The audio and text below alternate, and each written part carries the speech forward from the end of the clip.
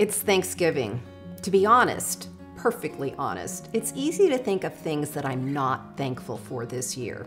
I'm not thankful for not being with all of my family. I'm not thankful for not enough resources to cope with the challenges that I'm currently facing. And I'm surely not thankful for the super difficult issues our world is facing. And even as I say these things out loud, I feel incredibly bratty and ungrateful. I'm not cooperating with the gist of God's nudge in 1 Thessalonians chapter 5 verse 18 where Paul writes, "Give thanks in all circumstances, for this is God's will for you in Christ Jesus." But stop a second here with me, will you? If you haven't punched me off about me being so honest about my ungratefulness, okay? In this verse, written to early Christians, God isn't directing us to be thankful for things that we don't want in our lives. Thanksgiving isn't about being happy about what is clearly not happy around us.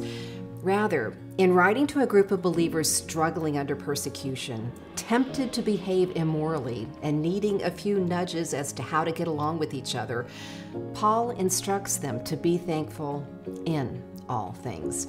Because when we learn to be thankful in all circumstances, we demonstrate trust in the God who is above all situations and works in them for his purposes and for our good in the incomplete celebration, where not everyone in your family shows up.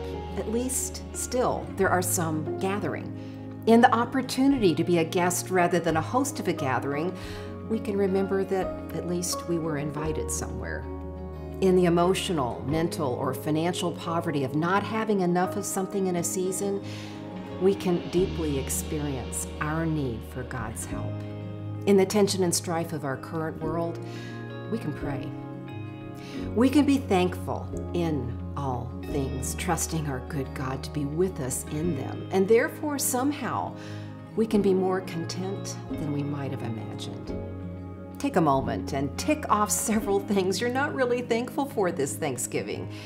And then, going back to each, consider just for a minute how you might follow God's directive to be thankful in that specific circumstance. Hmm? Happy Thanksgiving.